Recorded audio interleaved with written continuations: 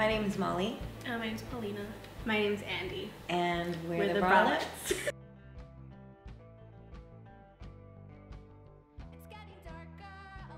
I play bass. I play guitar and I sing.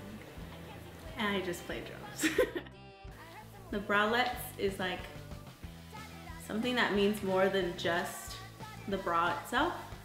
It's something that pushes us to be a little more comfortable in our own skin.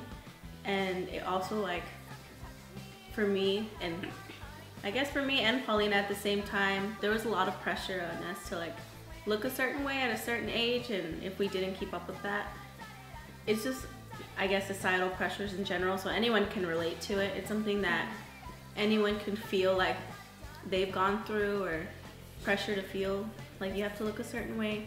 And like wearing a bralette, it feels free and it feels comfortable.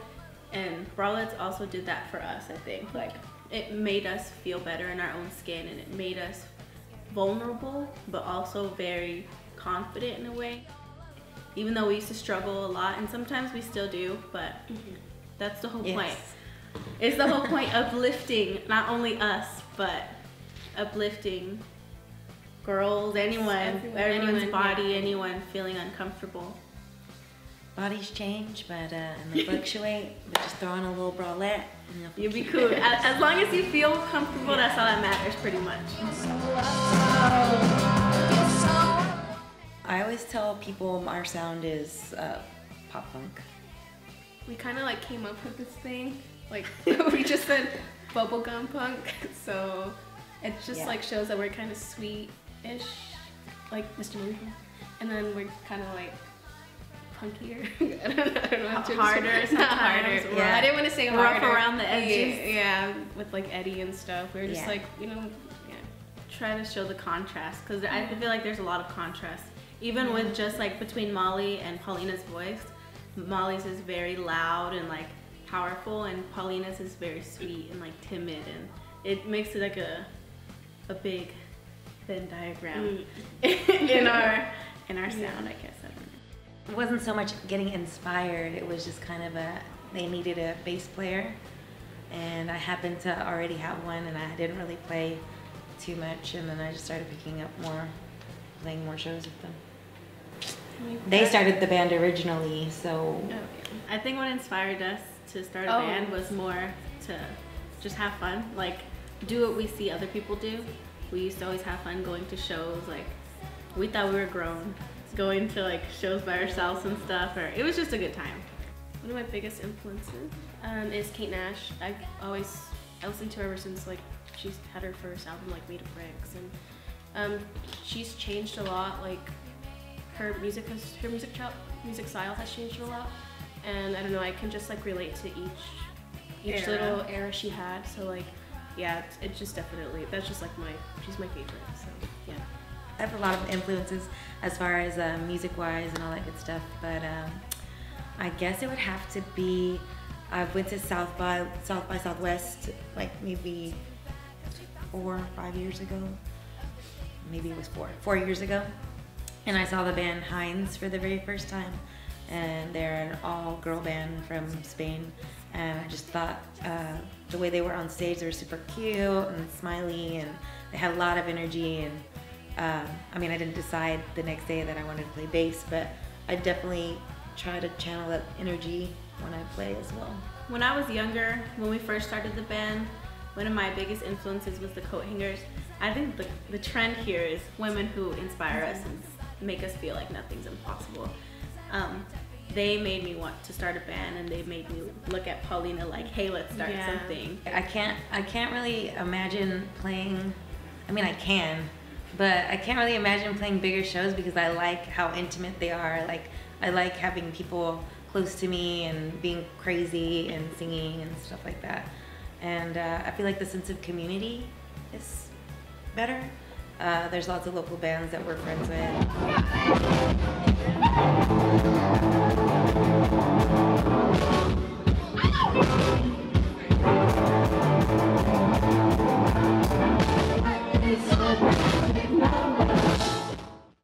Dallas music scene is really like not only nice but very supportive. Like they said, we're fr- friends with a lot of people in other local bands. We know that they genuinely support us by like listening to the music and we see them in the crowd. We'll sing their songs, they'll sing ours. So it really is like a community. Like we have each other's back. Like we'll never let you flop, we'll never let me flop. We're all gonna have a good time. In the early stages, I think it's cool because it feel like Molly said, it feels a lot more intimate, and also there it seems like everything else is like possible. So at this point, you feel like you're on the brink of something, like something's coming, and that like excitement, that hope is like what is fun about this stage, right? Because I mean, we've accomplished a lot of things that we've always wanted to, but there's also so much more that we want to do, and it still feels pure. It still feels like barely starting.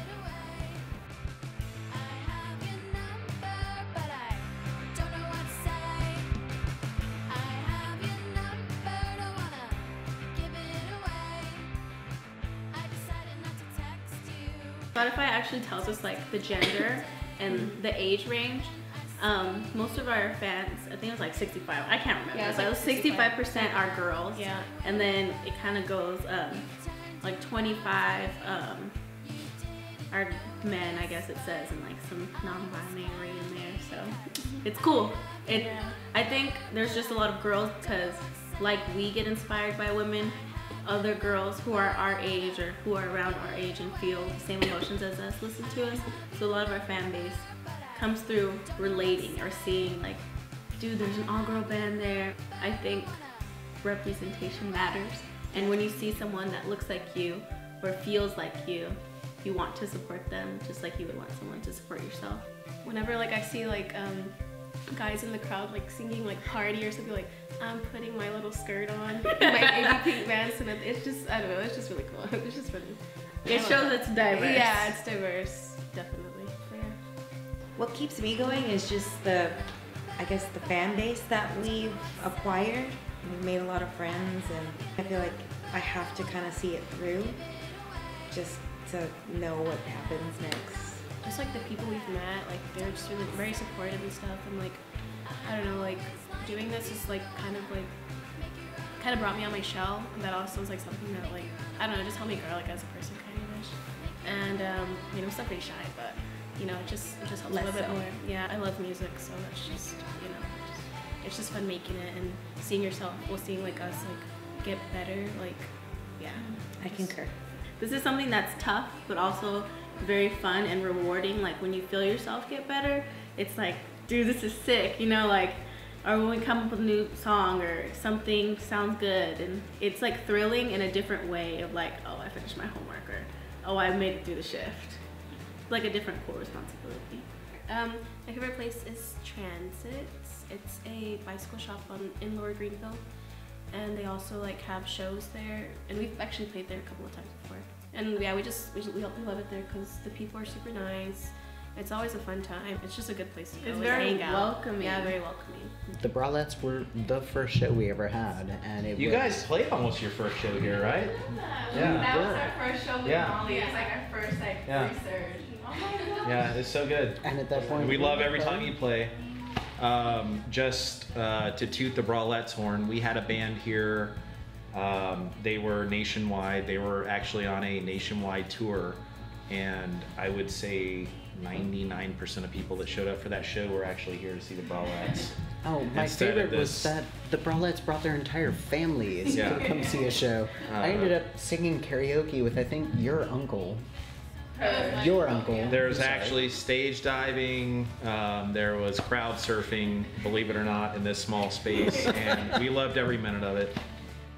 Sometimes like some of our shows, um, I'll be like, oh grandma, chill on this one. Like you won't have fun or like you'll feel uncomfortable like the venue or something. Yeah. But there we can we feel like we can invite anyone. Yeah. Like anyone's welcome. Fran is super nice. He's super welcoming, and yeah, we love them. They're good people. I think my advice is to believe in yourself and if you do other people will and don't pay play too much for free because Yeah, don't do that.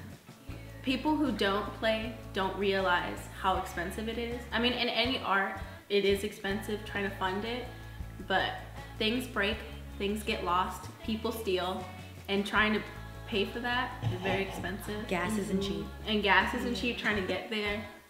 and you're gonna be hungry that night at some point. Yeah. My advice to uh, anybody who's starting a band or trying to start a band, uh, just play as many shows as you can. Maybe not in a row. Don't do that. Um, yeah, right. Keep writing. Be confident.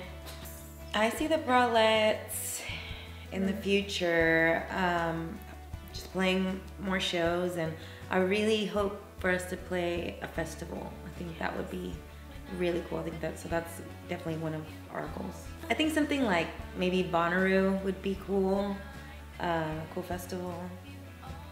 Definitely not Coachella. but if they ask us, we'll do it, honey. yeah, we will do it. When I see the bralettes, I daydream a lot. I feel like a little girl all the time thinking about the bralettes and what the future is for us. So I, I like want to see us on the road more. I we had a lot of fun when we were on tour. We had a lot. Of, it felt like a, like we got really close in the van. Even though we're close now, but when you're in a van, Definitely got closer. when you're in a van for who knows how long together, you do get closer.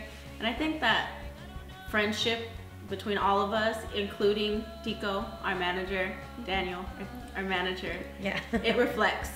And I just want that to progress and get bigger and drop the other responsibilities. We have an album coming out um, soon where the goal is to get out by the new year. We, we're trying really hard to make that happen. And we have a tour at the beginning of the new year, literally just January 1st. Starts. Yes. New year. Exciting. It's very I'm so excited. Yeah. And yeah, we just um, we're gonna keep writing songs, right? We should- We want to make new Yeah, music we- videos.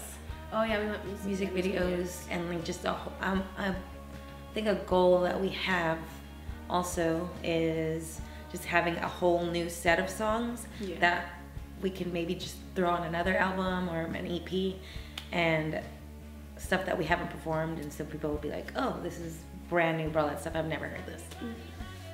Yeah, it's always fun when you like hear your favorite artist, like they have new songs you never heard before. Yeah. It's like, oh my fucking god. and it's even better if you like it Yeah. because sometimes your favorite artist writes a song you're like Girl, what are you doing? yep. So hopefully that doesn't happen.